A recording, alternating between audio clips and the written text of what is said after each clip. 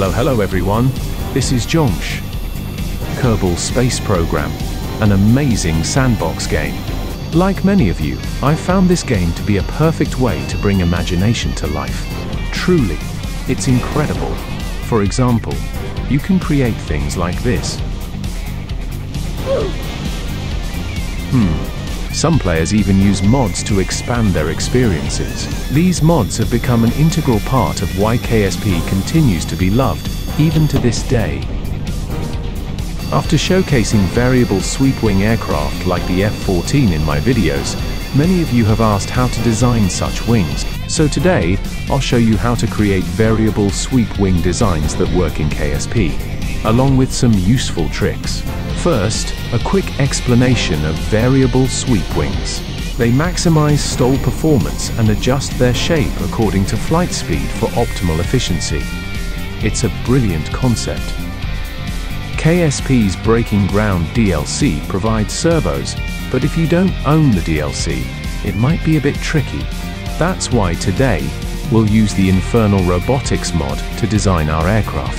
Here, I have a pre-made F-14 design let me first show you the mechanism I used. Two hinges arranged like this. Another reason for using Infernal Robotics is the force option. In KSP, especially when using FAR, many of you might have experienced wings folding backward or even breaking off. This usually happens due to drag caused by high angles of attack at high speeds. With Infernal Robotics, you can mitigate the effects of speed and drag on wing folding to some extent. Let's get started. Before we dive in, I'm using FAR, the procedural series, Kerbal Joint Reinforcement, Atmosphere Autopilot, and a few part-adding mods. I'll link these in the description. Also, don't forget to like and subscribe. Alright, let's begin for real.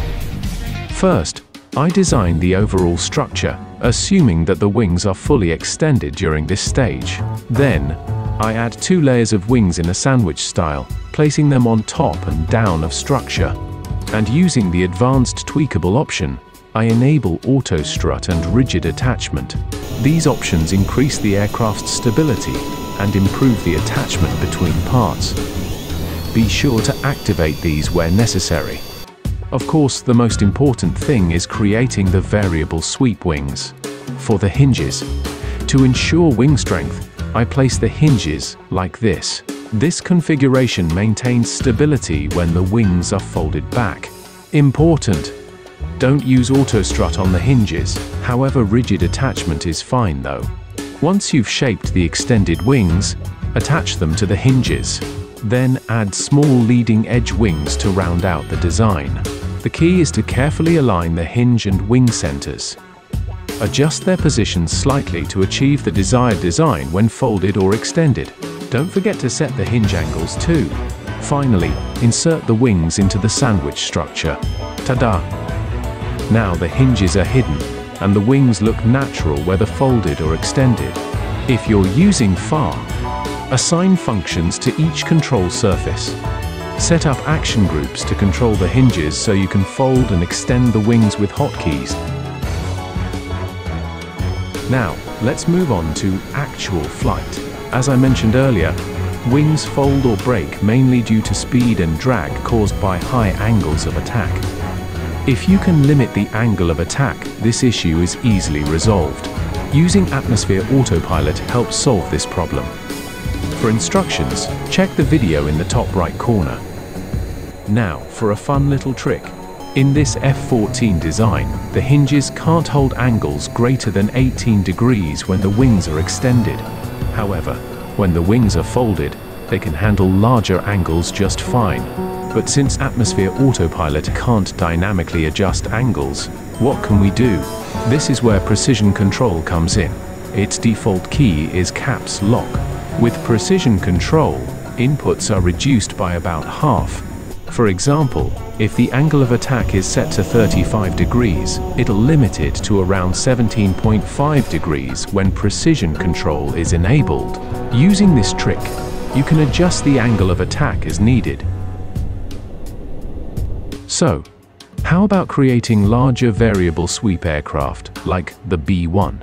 While Infernal Robotics allows resizing parts, Wings on aircraft as large as the B-1 tend to be very heavy.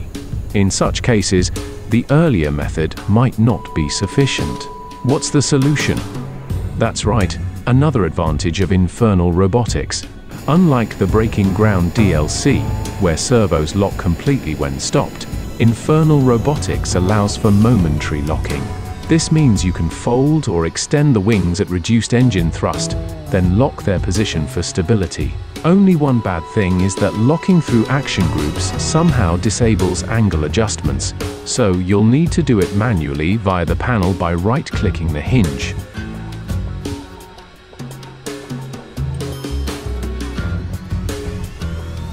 Using these tricks, you can create various types of variable sweep aircraft.